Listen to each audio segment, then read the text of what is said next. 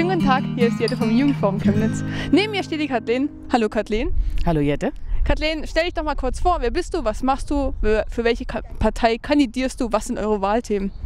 Was ich bin? Also ich bin die Kathleen, komme hier vom Schlossberg und kandidiere für Zentrum Lutherviertel und Bernsdorf für Bündnis 90 Die Grünen. Deswegen sind wir auch am Schlossteich.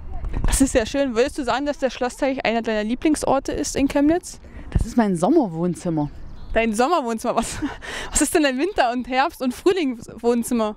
Na, dann ist es doch meine Wohnung. Okay, ähm, was würdest du sagen, was macht für dich einen Lieblingsort aus? Dass man immer wieder neue Menschen trifft, dass man viele Möglichkeiten hat, sich frei zu bewegen, zum Beispiel wie die Menschen hier bei uns um die Ecke zu grillen. Äh, und dass man 22 Uhr nicht mucksmäuschen still sein muss.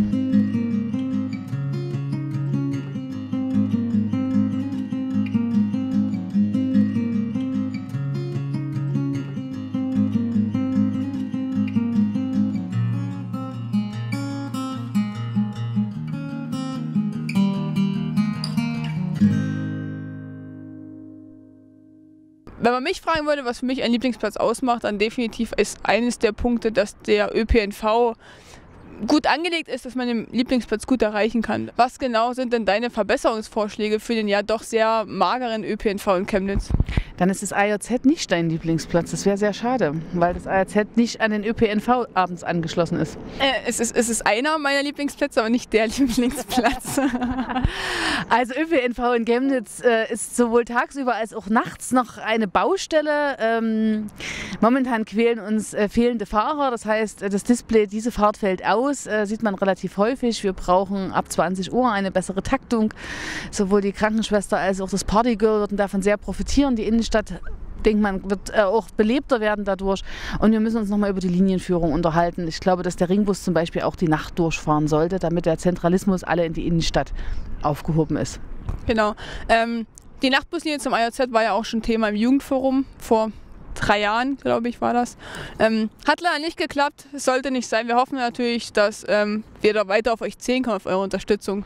Also das wurde damals von der Grünen Fraktion massiv unterstützt und das wird es auch weiterhin. Genau, da werden wir bei der nächsten Frage, Kathleen. Wie stellst du dir den Chemnitz nach 20 Uhr vor in Bezug auf Späti, Nachtbuslinien, Clubszene? Was sind deine Verbesserungsvorschläge? Um mehr junge Menschen äh, in die Stadt zu bekommen, bräuchte es in Chemnitz äh, mehr Clubs und mehr soziokulturelle Angebote in der Innenstadt, die man natürlich dann auch gut erreichen kann und gut wieder wegkommen kann, weil niemand möchte ja alkoholisierte junge und ältere Menschen dann äh, auf der Bernsdorfer Straße laufen haben. Äh, da brauchst du aber, glaube ich, zwei was. Wir müssen als Stadt gucken, wo wir nochmal Räume haben und äh, Flächen haben, wo man gut äh, solche Locations machen kann. Wir brauchen aber natürlich auch junge Leute, die Bock haben, abends nochmal das Sofa zu verlassen und rauszugehen und was zu machen und die auch Lust drauf haben, was mitzugestalten, weil was nie funktioniert, ist, dass so eine Stadt alles hinklotzt und man das nur als Konsument benutzt. Das sehe ich ganz genauso. Junge Menschen, du hast es gerade schon angesprochen, genau das hatten wir vor zwei Wochen. Die Fridays for Future Organisation war ja weltweit ganz groß, hat da sehr viel für Aufsehen gesorgt.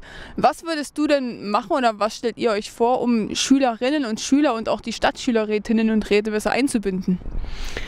Äh, Fridays for Future, das grüne Herz hat geklopft, ganz viel Selbstorganisation, ganz viel Empowerment, super Sache. Das Thema, was wir seit 20 Jahren von der Wissenschaft erklärt bekommen, endlich mal emotionalisiert und polarisiert.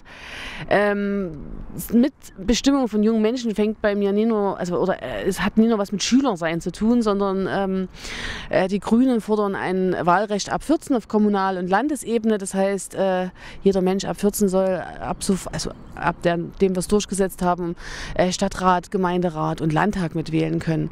Die Vertretung von Schülerinnen und Schülern an Schulen ist momentan, glaube ich, sehr davon abhängig, was Schule daraus macht, wie das von Schule gefördert wird, welche Vorstellung von Demokratie und Mitbestimmung Schulleitung zulässt, aber auch der einzelne Klassenleiter, die einzelne Klassenleiterin zulässt. Und da gibt es äh, Schulen, wo das hervorragend funktioniert und es gibt andere Schulen, da sind das irgendwie so Pappfiguren. Pappfiguren inwiefern? Also man, die sind einfach da? Die sind da mehr oder weniger sprachfähig und werden mit den Dingen, die sie haben, eben leider manchmal auch nicht so ernst genommen. Okay, na dann sind wir als Jugendforum natürlich ganz gespannt darauf, hoffen da weiter auf eure tolle Unterstützung und wir wünschen euch natürlich viel Erfolg bei den Stadtratswahlen. Dir, Kathleen, vielen lieben Dank für das Interview nochmal, dass es geklappt hat. Gerne. Und wir sind vom Jugendforum sehen uns beim nächsten Mal.